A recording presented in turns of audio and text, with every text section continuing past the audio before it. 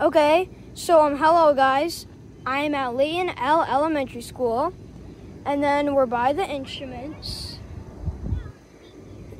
Um, and then over here, there's this tree with a weird little X. It's a yellow. And then you can see an entrance to a woods. So, the thing is, when you're at recess, then you should only go to a special mark. So you just keep walking down the path.